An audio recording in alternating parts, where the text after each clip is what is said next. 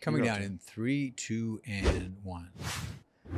I know we're going to get Brent Burns stories out of Seth Jarvis. So, Elliotte, why don't we just open up with Brent Burns stories? So, Mario Ferraro sat right there and talked to us about getting dental advice from Brent Burns uh, because he's got, you know, uh, a couple of teeth out and he's got to deal with it.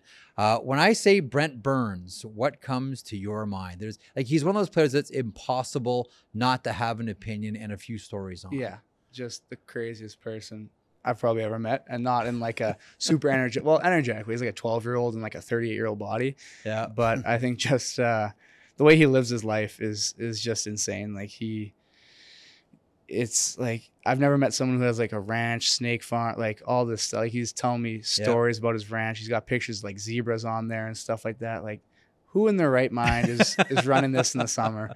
But uh, yeah, he shot me a few texts this summer trying to get me to go down there. Once I heard snake boots when you're ever outside the house, I was like, nah, probably not gonna sell me on that one. So maybe maybe next summer, maybe next summer I'll grow over my fear. So Burns is a fascinating guy because to your point about, you know, the ranch and the animals and the reptiles and all of that, like that's the story. And the look is great and all of it. Um, talk to us as a hockey player though. Like what when you see the hockey player Brent Burns, what stands out for you? I mean, just being able to do what he does at such a high level at that age is incredible. Being able to, I think he broke our defenseman like single season points last year. So I Mhm. mean, to be able to do that Yeah. and uh, yeah, I think I like picking apart his game. I think his shot is just incredible. Being able Yeah. to shoot as hard as he does from wherever. One timer. Yeah, it's he might not know where it's going because he doesn't pick up his head, but it's coming hard and it's usually coming pretty high. So How do you like standing in front of that? not great. You know, I, I've had a few close calls, but uh, yeah, it's he's he's just the best. yeah. You know, Seth, you're for yourself. Just you're going in another year coming in. Like this summer, what did they tell you? Maybe in your in their exit meetings with you, Rod, and what did you focus on this summer? I mean, I feel like it's the same most summers, just getting bigger and stronger. Being a smaller body, you need as much strength as you can get. And I think this summer, uh, I really took to another level, and I feel really confident about how I trained and my fitness level coming in, which is something that maybe in years past it's been something I've been really trying to work on, but I think this year it's something I'm comfortable with. And Wh- uh, what happened this summer that made you feel better? You know, I just matured a little bit. I think uh, maybe late puberty. Maybe I'm finally finally uh, hitting my stride. Um, starting to grow. Not the Western Hockey League program anymore. No, the no. NHL program. yeah, or- I can kind of grow a little scruffy beard now. So um, yeah, but I think just taking everything that I was doing before and just bumping it up a little bit uh, a notch. I mean, nutrition is something that's been uh, maybe I wasn't so focused on before, and I think this summer and that past, the past season uh, was something I really focused on, really and really took to another level. Tell me about your diet. Like, did you change something? Did you cut? Did you add more? Cut out something? Yeah. Like, did What you don't do? you eat anymore? Yeah. Don't I eat? Yeah, what's well, off the plate? off the plate is ah, sadly a lot of candy. I, I have a Oh. wicked sweet tooth. So do I. What's your Oh. fa- like? Like, what's your favorite candy? Well, I don't know if you ever had like little nerds gummy clusters. Yeah. Oh yeah, my kids love those. Yeah, Oh yeah. my god. I yeah. Those by far my favorite. But so trying to cut out as much of that as I can. And then one thing I got into um the past summer was fasting actually. like intermittent fasting. So, So, what was your schedule? What did you do? I would eat my last meal would be at I wouldn't eat past eight o'clock. PM and then I wouldn't eat again until 12:30 1 p.m.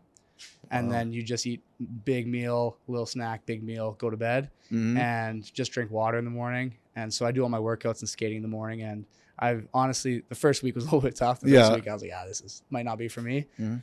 But after getting through it, I've never felt better. It was it was crazy. Just not even the amount of energy you have, just not feeling heavy and uh, Yep. felt ready to go. Black Could co- you- black coffee in the while I'm like, no, I can't drink while black you do, coffee. while you're doing that, you can't you, you can't. oh, I can't drink coffee. Okay. I'm like a 12 year old. I hot chocolate maybe, but not coffee. I, I didn't start drinking coffee until I started dating my wife at 37. so, like, you got lots of time. yeah. But here's my question: Can you do that during a season? yeah, that's the part I guess I'm gonna figure out. I So you're gonna your goal is to still try and Yeah. do that, eh? Uh, I think I'm probably gonna end up eating mm-hmm. like a normal person, but Mhm. I think I'm gonna be conscious of how much I'm eating and probably not eat quite as much in the morning, Mhm. uh, and just see how I feel in the first couple weeks. And if I don't like it, then I'll go back to a normal schedule.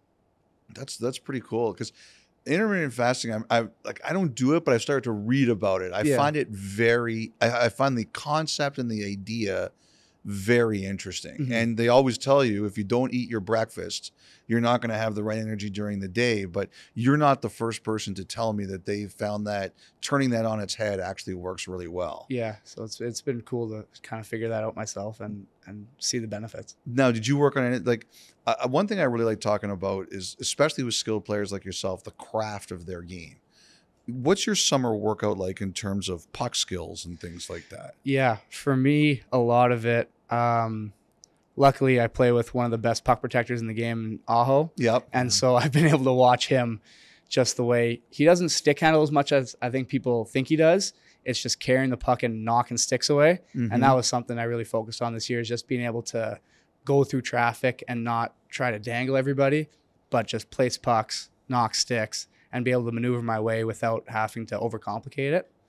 And then for me is is uh, I'm just trying to play as much as I can with my head up. And I Mhm. think you can get in trouble when you get caught with your head down. Obviously, you can get hammered and, Mhm. and stuff like that. But I think just being able to maneuver the ice, head up, not stick down as much, is uh, a combo that I'm hoping is going to really benefit me this year. nice.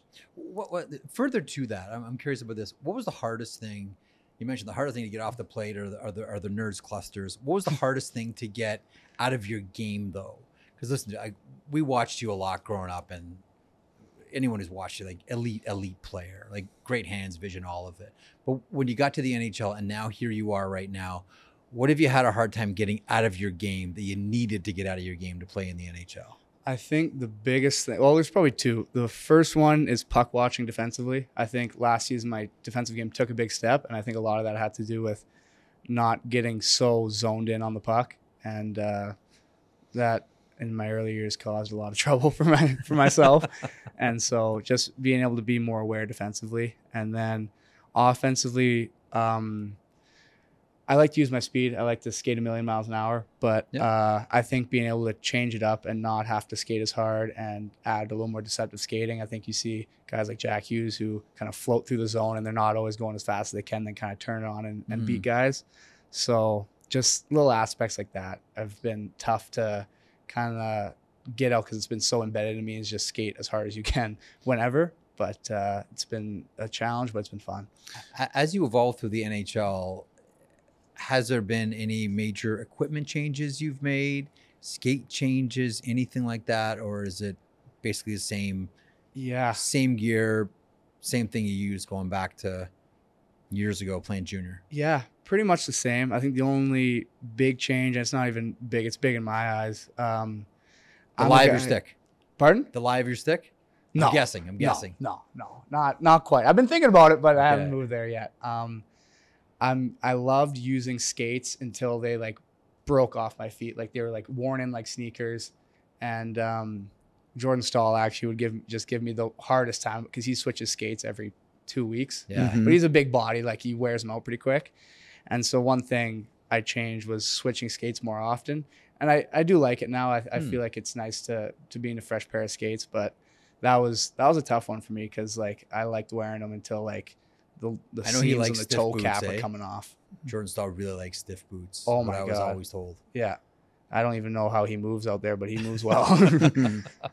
one, uh, one tough memory bring up just after the Eastern Conference Final, the dressing room after the last game, and like that was uh, that was a heartbreaking series just because the way that those games went. What was the mood like in the room? What was said? Yeah, I'm sure you could imagine how Yeah. it was. A lot of a lot of disappointment. Not not much was said. Um, one that thing that sticks out uh, a lot to me though is um, Roddy when he when he came in like he was like like there's not much you can say to a group at that point and he just kind of came and sat down with us and just having him in there and like being present with us and it felt like he was like not just a coach but on the like on the ice and stuff like that and like a player again so I thought that was pretty Hmm. cool, just seeing him do that. Like he wasn't in there trying to cheer us up or or talk to us about what happened. He was just letting us kind of feel the emotions we were feeling and and kind of go through it with us. So he just sat down. Just and, sat down, didn't say much, and just kind of uh, just joined in on the bad feeling basically. Mhm. Like, like you guys are close. You're right there. Like every year, you know, people make their list of teams that you know can win the Stanley Cup, and Carolina's on it at, uh, for now for years.